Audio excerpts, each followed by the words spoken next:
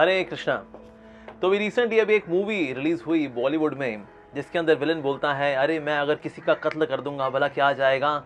गीता के अंदर लिखा है, हम शरीर नहीं, हम तो आत्मा है। मैं तो सिर्फ़ आत्मा को शरीर से अलग कर रहा हूँ, और भला क्या कर रहा हूँ?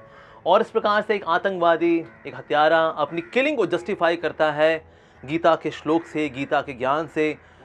तो कोई व्यक्ति सोच सकता है, क्या भगवद गीता किसी को हत्यारा बनाती है, कातिल बनाती है जुल्मी बनाती है, अटैकर बनाती है सीरियल किलर बनाती है। इज़ इट लाइक दैट नहीं, ऐसा बिल्कुल भी नहीं है।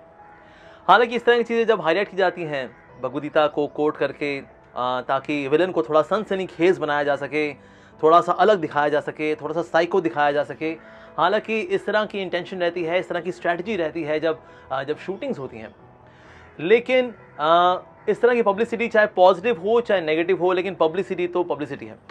जैसे देवानंद जी ने एक मूवी बनाई थी, हरे कृष्णा, हरे राम, और उसमें एक गाना भी था, दम मारो, दम मिट जाए गम बोलो सुबह शाम, हरे कृष्णा, हरे राम तो उस वक्त कुछ लोगों को होता है ऐसी भ्रांति हो कि शायद हरे कृष्णा, हरे राम वाले चिल्लम लेते हैं, ब्राउन शुगर लेते हैं। अफकोर्स हम लोग तो किसी प्रकार का नशा नहीं करते, चाय, कॉफ़ी भी नहीं पीते। लेकिन हाँ उस वक्त किसी को ऐसी गलत फहमी हुई हो। लेकिन एक बात तो है, हरे कृष्णा, हरे राम घर घर तक पहुँच गया। क्यों? क्योंकि पब्लिसिटी चाहे पॉजिटिव हो या नेगेटिव हो पब्लिसिटी तो पब्लिसिटी ही होती है। तो आज दम मारो, दम का दम तो निकल गया, लेकिन घर घर तक क्या पहुँच गया? ये हरे कृष्णा, हरे राम, ये भगवान का नाम, ये घर घर तक पहुँच गया। तो बात यह आती है, क्या वाकई में भगवदगीता इंस्पायर करती है इस प्रकार की हिंसा को? एब्सोल्युटली नॉट देखिए, हत्यारा चाहे भगवदगीता पढ़े या ना पढ़े, उसको जो हत्या करनी है वो करेगा, क्योंकि वो तमोगुण के अंदर है, वो व्यक्ति तामसिक है। लेकिन हाँ अपने बुरे कृत्यों को मैं जस्टिफाई कर सकता हूँ भगवदगीता का श्लोक लेकर के या फिर कुरान का श्लोक लेकर के कह करके जिहाद करनी चाहिए वास्तव में लेकिन जिहाद का वास्तव में असली मतलब होता है अपने अंदर की बुराइयों से लड़ना, ना कि बाहर मासूम लोगों को मारना।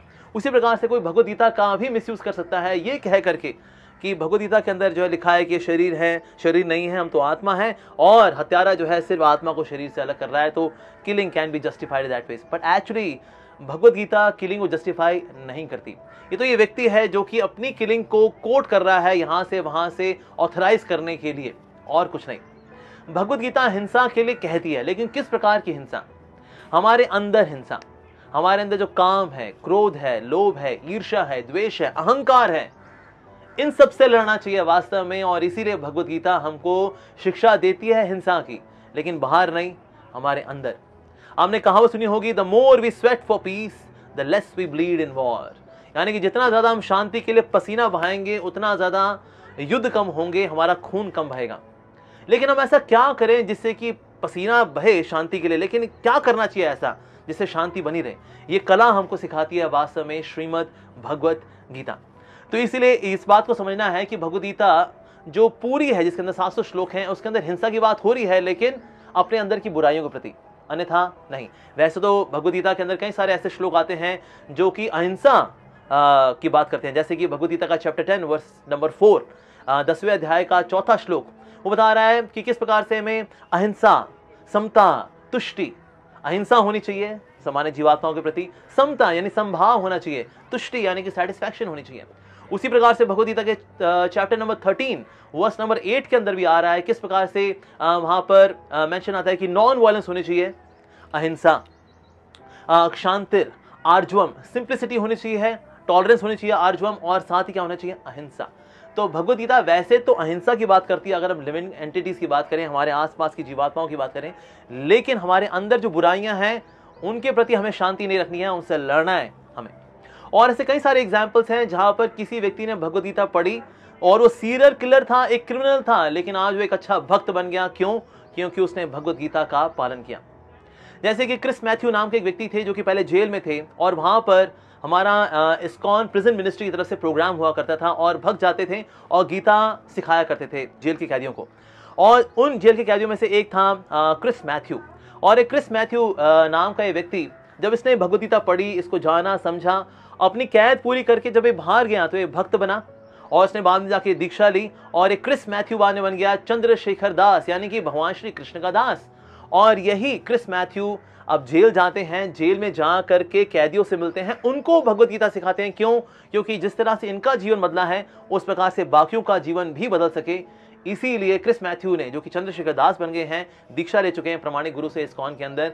आज वो जाकर के प्रिजन में कैदियों की सेवा करते हैं, उनको ये दिव्य संदेश देते हैं भगवदगीता का। इसी प्रकार से एक सीरियल किलर था, जो कि भागा हुआ था और उसके पीछे स्कॉटलैंड यार्ड पड़ी हुई थी। और वो भागते भागते आकर के इस्कॉन टेंपल में आ गया। उसने ऐसे हमारा हमारा इतना सर मुडा लिया, उसने तिलक लगा लिया, धोती कुर्ता पहन लिया और छुप करके हमारे बीच में रहने लगा, ताकि पुलिस उसको ना पकड़ सके। लेकिन हुआ क्या, जब यहाँ वो भक्ति का पालन करने लगा और साथ ही भगवदगीता के संदेश को फॉलो करने लगा। उसका हृदय शुद्ध हुआ। और उसने पाँच छः साल के बाद अपने गुरुदेव के पास वो गया। उसने बोला, गुरुदेव, मैं ना एक सीरियल किलर था पहले। मैं हत्या क्या करता था लोगों का पैसा लेकर के? लेकिन अब यहाँ भक्ति का पालन कर रहा हूँ, गीता की शिक्षा का पालन कर रहा हूँ तो आज एक गिल्ट आता है मेरे को कि मैं मैं कितना घिनौना था, कितना बुरा था मैं। मुझे क्या करना चाहिए?